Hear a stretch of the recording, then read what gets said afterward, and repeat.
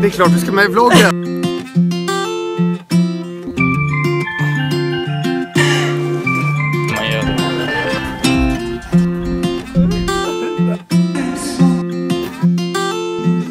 Idol är...